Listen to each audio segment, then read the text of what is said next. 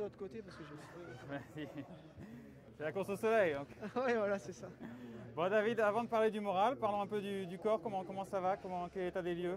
Euh, on a fait l'état des lieux un peu hier soir. Euh, bon, c'est une chute, hein, c'est une chute à, à 50 à l'heure, donc euh, c'est- pas la folie, mais bon voilà, on a deux jours pour récupérer. Euh, J'ai un peu des courbatures forcément un peu partout, mais bon, mais bon, on est on est déjà focus sur sur la suite, je dirais. Euh, Il y a deux jours pour récupérer, et voilà, maintenant ce sera ce sera cap sur sur des étapes. On va essayer de prendre des échappées. Il y y a pas mal d'échappées qui peuvent aller au bout. Ça risque d'être, il reste encore quatre belles journées, donc on va pas se démobiliser et, euh, et on verra bien. Et dans tous les cas, même si Sparini c'est pas forcément fluctueux, très très fluctueux à la fin, euh, ce sera une bonne prépa pour, euh, pour, le, Pa- pour le Pays Basque et, et les Ardennaises. Le moral reste haut donc.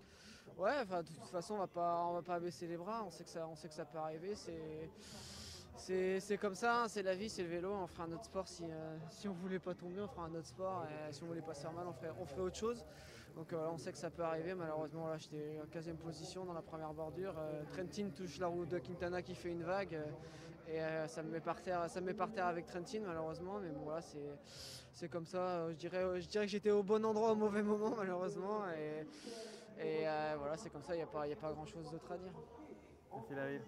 Courage.